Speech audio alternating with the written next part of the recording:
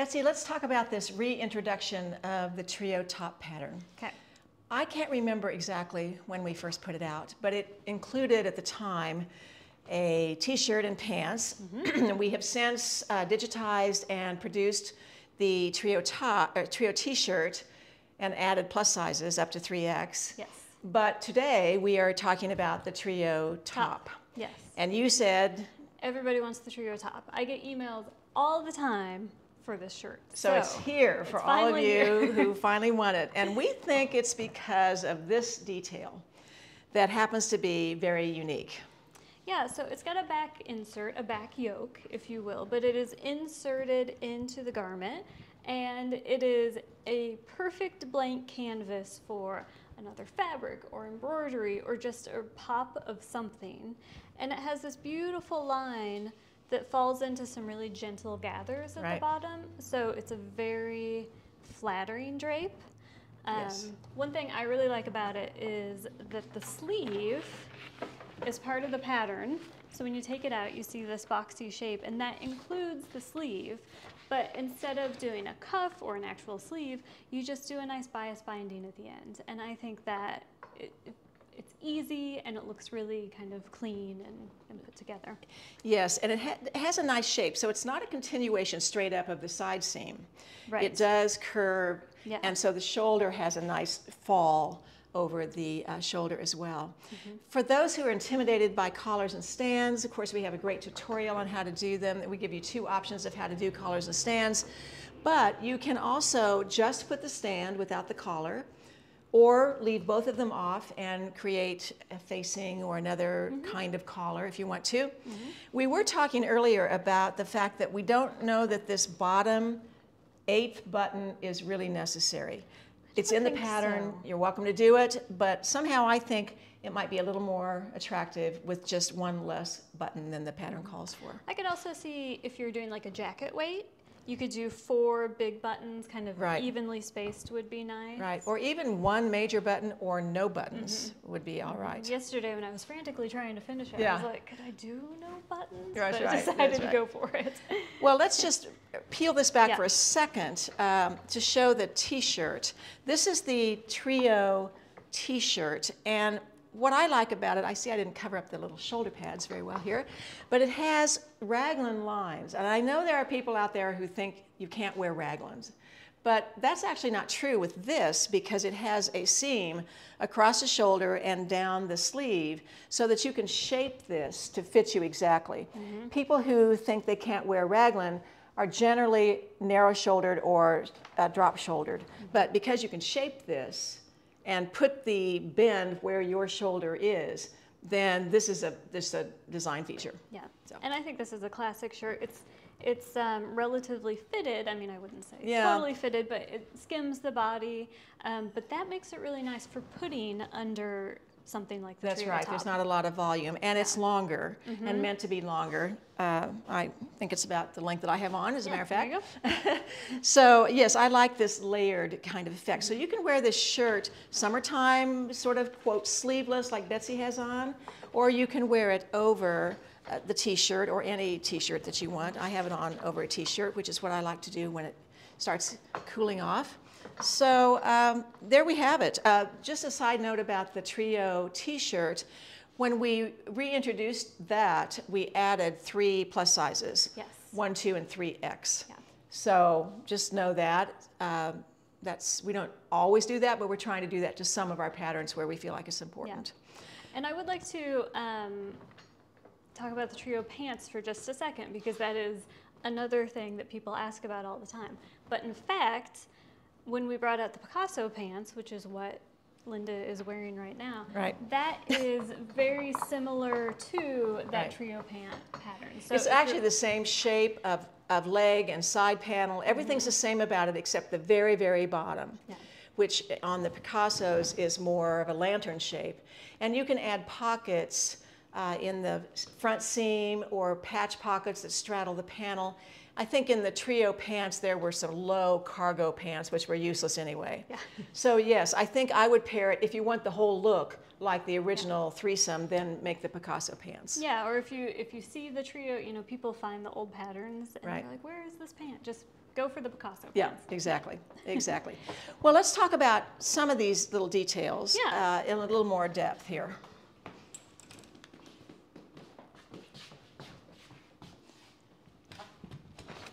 So one of the trios that I brought out from the vault is this one.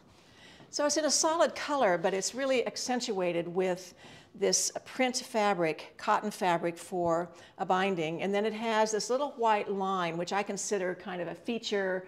You could be like a magic marker line, except it's fabric. Uh, so I'm going to show you how to do that. And it is in one of our tutorials called Three Bias Bindings. But you start out with uh, whatever you want the little edge to be, the little part that peeks out. So this is a one inch wide piece of fabric cut on the bias that's been pressed in half. And then you sew that down the center of a three inch wide piece that's also on the bias. So that's been sewn and the distance from the fold is how much is going to show when the garment is done. Okay, so like that part right there? Exactly. Okay. So this is about an eighth of an inch from the fold. And you want to be real careful and make that stitching line really even. So there's a stitching line right there, which is in the center of this three inch piece. And long time ago, there was a chalk mark there that's long gone. so then this gets, uh, this piece gets folded. I think I have this on here a little bit. Oh, no, I don't either. Well, maybe. A little bit backwards, yeah. I've reversed it. I should turn it upside down. But you fold this fabric wrong sides together and expose this. And then that gets sewn onto the edge of the uh, wrong side of your garment. Okay, so it looks like that when you sew it on. And that gets wrapped to the right side.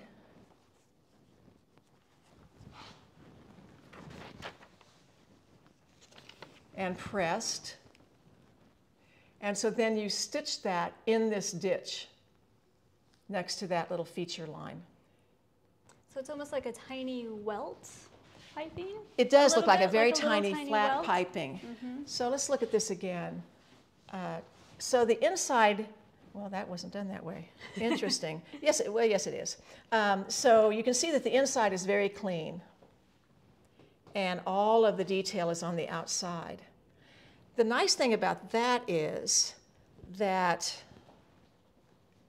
look how the buttons are done in the Oh, wow. seam that's of that, cool. which is pretty cool. But even the side seam can be hidden then.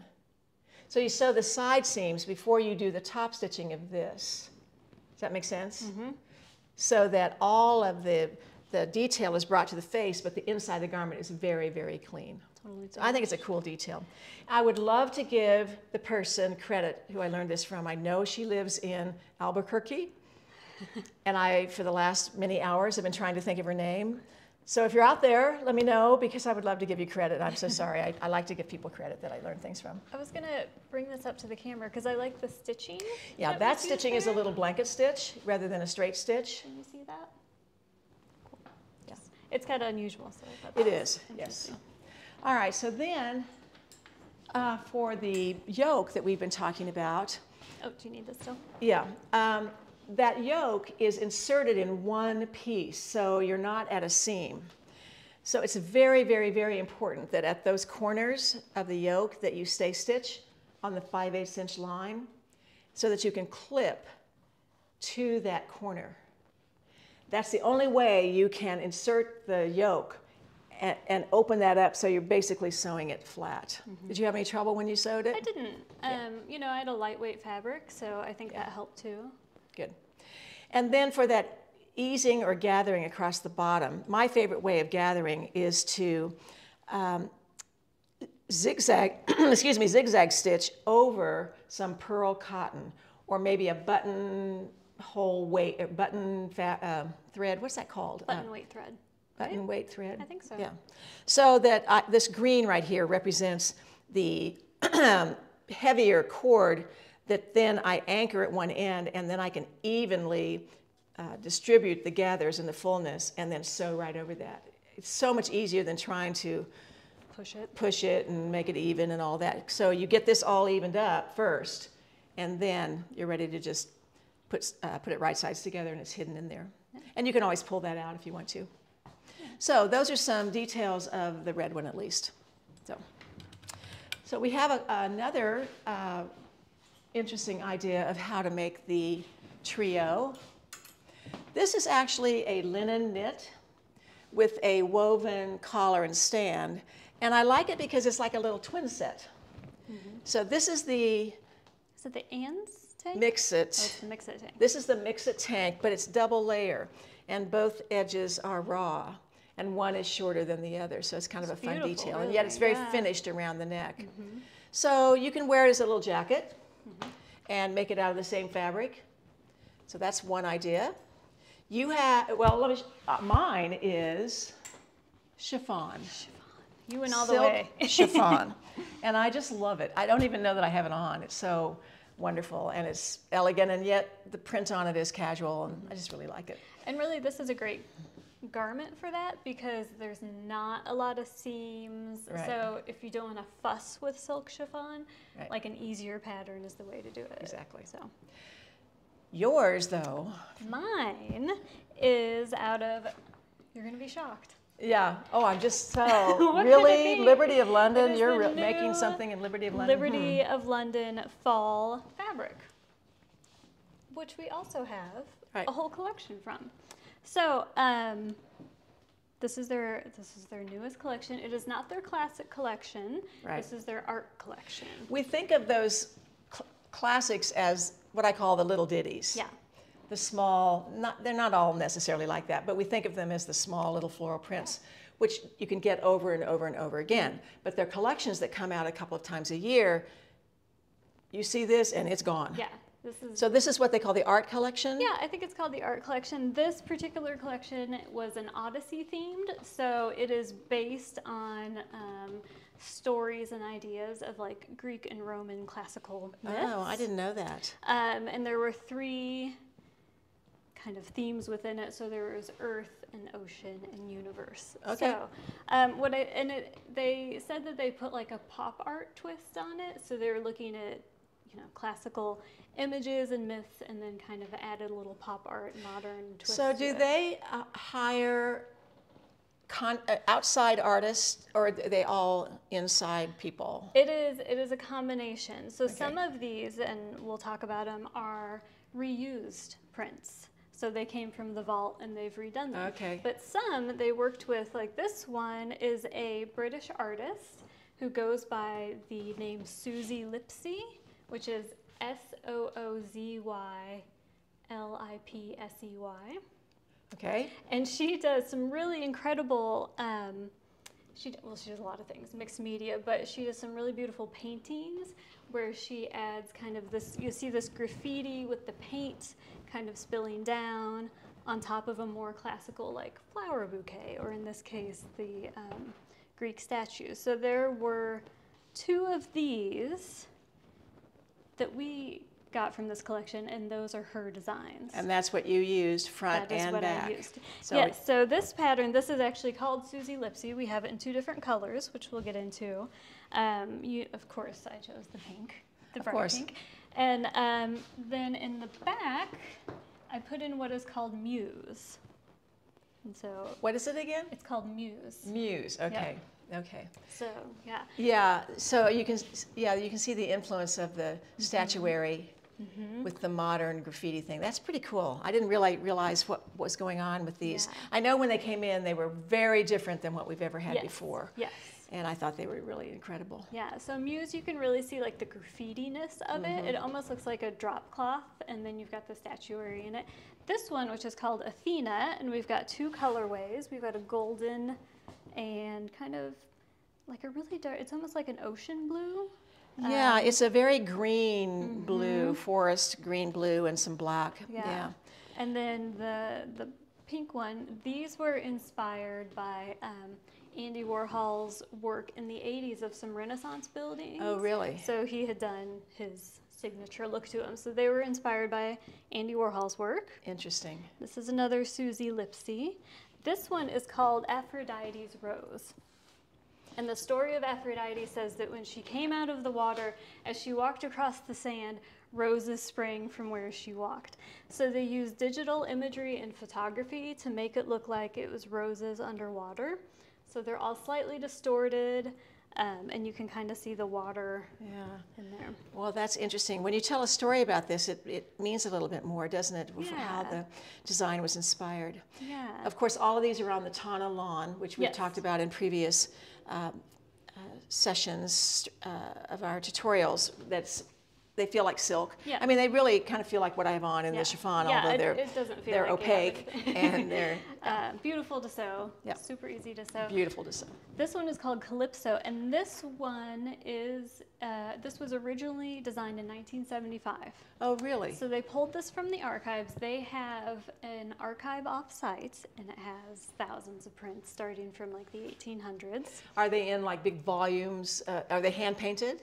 Or Yeah, so they're they're mainly like the designer sketches, and then they have swatches of the old Okay, um, fabrics. that's There's a really great book that talks about the Liberty Archives and makes you want to go there, but they don't allow it. yeah, I'm sure. yeah, especially with a sketchbook. Exactly. Exactly. yeah. Yeah, or a camera. Yeah. Exactly. um, this one is mosaics. We might need to bring this up close. Yeah, can this is much it. More interesting uh, up close and even by itself, actually. I mean, I think it's a great mix filler, although it stands on its own, but there's a lot of detail in Mm-hmm. There's a lot of detail, and it was inspired by a scarf they made in 1960. To me, it looks like something was beaded. Mm-hmm. Uh, you see these, um, this fretwork, and I don't know, Yeah. it must not have been, but so it was a scarf. That's interesting. When you go into the Liberty of London store, one of the whole sections there is their scarf section, and they have beautiful scarves. Uh, not necessarily in the Tana lawn, but in silks and other things. Usually in silk. Yeah. And they're they're beautiful. So this is the other colorway of what I'm wearing, and we've got some kind of olivey greens and a little more of like an orangey coral and steel blue, um, and it looks just kind of fantastic with these. And yeah, I think all of these really go together. And we we did order them with the idea that we would have multiple colorways of things, so you Mm-hmm. could mix them if you wanted to. The nice thing about all of these Tana lawns and, and the cottons from Liberty of London is they're wider than your normal 45 inches of cotton. Aren't they like 54 or something? Yes. Uh, yeah, 54 inches. So, you know, they're pricier. Uh, They're well worth it. Anybody who Oh, yeah. follows Liberty of London knows that there's nothing like this on the in the whole planet of fabric. Uh, so not only the, the fabric itself, but the motifs, uh, but then, you know, you get more for your money because of the width as well. And they wear well. Yeah, they do.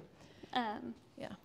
This one is perfect for now. This is a fall, a fall woodland. Yeah. Um, they said the original was a little sketch from the 1920s um, that they Hmm. took from that, and it was painted in a flat gouache. So you, do you say is it gouache? Is that how you pronounce it? Gouache. Gouache is uh, opaque watercolor. Yeah. Yeah. So you get this like real flattened Mm-hmm. kind of aspect to it, Interesting. and then we're back to Athena. So we, we're pretty selective when we order from the collections. Uh, they, they send us the whole collection, which can be 50 pieces or more. But, uh, you know, we, we, and they do, Liberty of London does now utilize more of their prints in their own products, which I don't think they've always done. I don't think. I like think it- umbrellas and bags and uh, they've, have they always done clothes? Okay. Uh, sleepwear and oh, everything. So it's really, if you're ever in London, of course, in my mind, that's the the only place to go. the only place. If you only have one place to That's go, place that's to go. where you need to go. Yeah. But as Betsy said, there are some fabulous books uh, uh, available. In fact, I even gave you one for Christmas. I have no Mm-hmm. idea which one it was, but I knew you'd like it, whatever it was. And it talks about the history of the company and all that. But the, to think that, um, what is it, two times a year, the collections, or is it more than that? Is it four times? Right now, they're doing two large collections. They do a spring, summer, and an autumn, winter, and they've started doing kind of mini collections Okay. in between. So we've got some stuff coming from a little mini collection. Okay. Now, and all of that's done off-site, No, they do have a design department, department at the store. At the store, But you can't Uh, see it.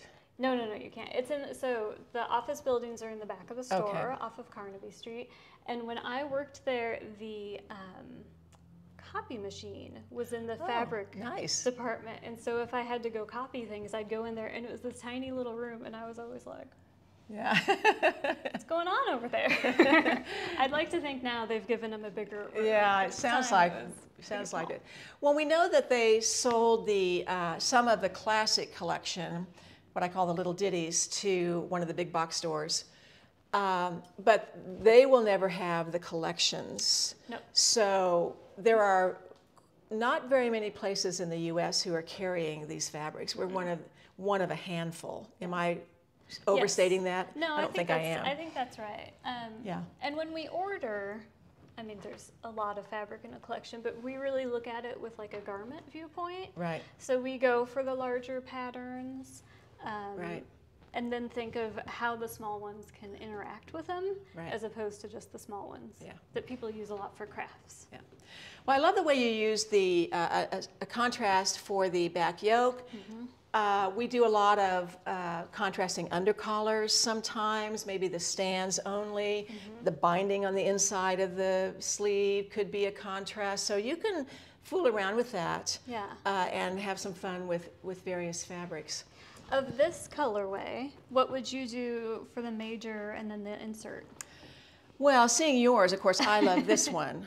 Um, and then, you know, I think maybe I like this one as an insert and this one as a bit of little bits, uh, maybe the undercollar, the stands, the bindings. I like this. It's pretty strong, so this could be the main one. Um, this and this, to me, I see it main, as main ones. And then again, this and this. And actually, I like this too with it as maybe Like the insert or something like that. Yeah. So I think this whole side is pretty mix and match. Yeah. Yeah. As is this As is this one, Yeah. that's right. Um, and then this, And then, yeah, this can one can actually go go over here as well. I mean, I love those together. Uh, this, Mm-hmm. this. So this bottom one is, is a pretty transitional Yeah. piece as well. But these three are amazing together. I So, love those. Um, so do we have any questions? We've been rat, you know, rattling on here. like, it's really exciting to see these. It was funny. Um, we, as we uh, get fabrics in, we, we have them on rolls, as you see, and we put them on shelves, and you can't always see what's there. But we've had about three So Kansas events uh, since July or May or whatever it's been, and people find these Yeah. uh, because they are so unusual. And, and I was even in Mexico, believe it or not, with a painting teacher, and she started talking about Liberty of London fabrics that she can never find it. oh, really? I said, "Oh well, Come I, I can help you with that." And she she knew about them. She doesn't sew, but she buys them. Mm-hmm. And then another painting teacher that I met in Santa Fe had had bought the fabric and had all her shirts made out of Liberty of London. So there is a sort of cult following of these fabrics. Yeah. And again, if you like them, you need to get them now uh, because they're not going to be around. There's a woman I follow on Instagram, and she loves Liberty, and she collects certain of the classic collections, and she takes a swatch and puts them in books. So every time there's a new colorway, say of the Wiltshire, which is like a berry, um, she buys it and she does a little swatch in the book, and she has volumes. Wow. And if you go on her Instagram, she'll like flip through, That's and you can see all the colors over the years. That's so cool. I started putting swatches of the stuff I get in a book, That's- just that's so I pretty can look cool. at them. What thread weight would you use for the fabric? Well, that's interesting. I think you could use the standard 50 weight thread, but you could, and it would be quite appropriate to uh, sew with a lighter weight thread, the 60 weight. Believe it or not, the 60 weight is lighter than the 50 weight. I know that's not, re- it's Doesn't weird, but you could use the 60 weight cotton thread. So use cotton thread, 50 weight or 60 weight, uh, either one. I mean, I just always use standard weight thread. I do too, basically. We do carry the um, 60 weight. Now, the 60 weight's available in, oh, just a fraction of the colors of the 50 weight. And I, I mean, I could tell Deb, if you order thread, which is an add on to the orders on our website, um, we could tell her to, to send 60 weight uh, if the color works. Uh, Yeah, if we Or if you're, or we'll, we'll probably honestly send you 50 weight Yeah. unless you have a special request. You can email us or call us if you want Right. the other fabric. Yeah, I just, I just worry about stock on the 16. Yeah, so. I know. It, we don't sell it as often, but I do use it on very lightweight, like chiffon for sure. Mm-hmm. Um, but I'm sewing with cotton thread for sure. Don't use the polyester. Um, for the swing tee project, could you use a lightweight ponte? I, um, the only thing about Ponte on the Swing Tee project is uh, one of the features of this is this curly raw edge. Ponte is not a jersey, so it's not going to curl. It also doesn't ravel. If that's a look that you like, which is a little more um, Kind of a pure and, sleeker, mhm. and sophisticated perhaps, then yes, I mean, it's totally appropriate for the swing tee. But if you want this uh, roughened edge, Ponte is not going to do that. Now you could do the body in Ponte and do like a, um, The facing in the Ponte Yeah, like or the something else, yeah, you could do alternative, that. But- But you can see the, the way this is uh, done, because it curls to the right side, you have an opposing curl. yeah. If you got that class for the month, um, is the class live already? Yes, the class is live already. Okay. And when is the first Zoom class? Or- You know, I think Alice is going to have to tell us that. I Uh, think it was supposed to be Thanksgiving, but that doesn't work. uh, yeah, um, I don't remember. I don't remember when we switched it. We did switch it. Uh, it should be on your course It's either the week before that or the week after that. Yeah. Uh, So it's either next week or. yes, we I have think two. That went out in the email. Yeah, we have two Zoom.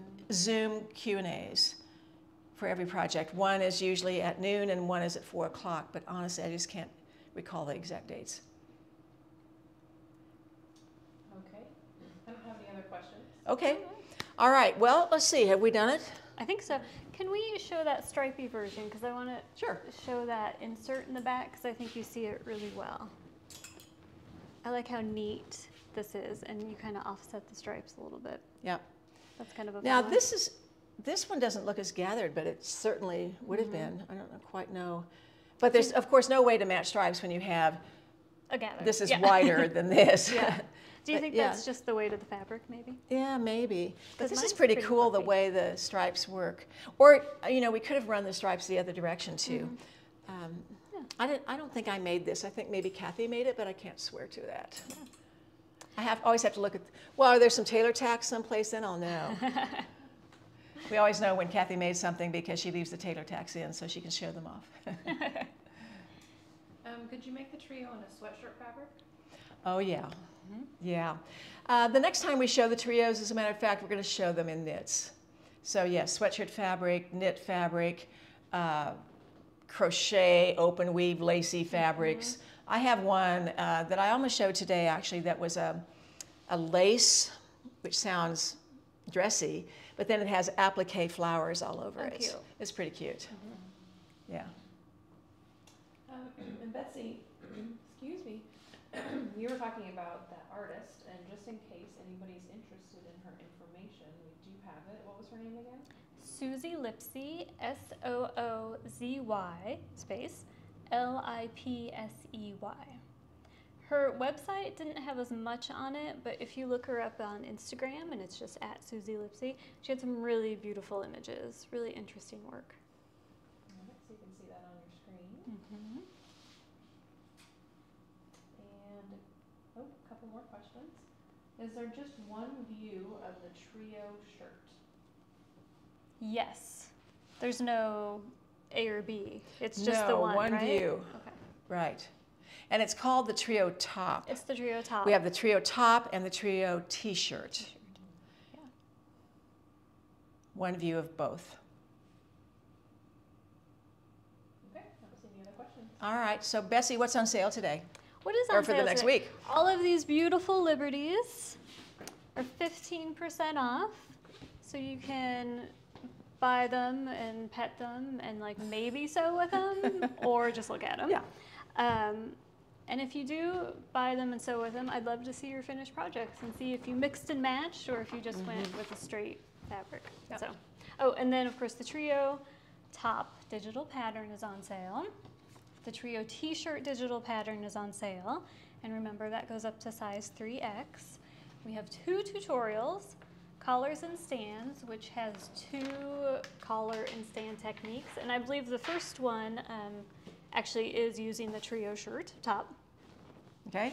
And the other one is three bias bindings, which includes the technique that we looked at earlier. All right. Okay. All the things. Thank you so much for joining us today. Thanks, Betsy, for coming over. And thank you, Aaron, for hanging in there. uh, but we'll see you next Tuesday or next week.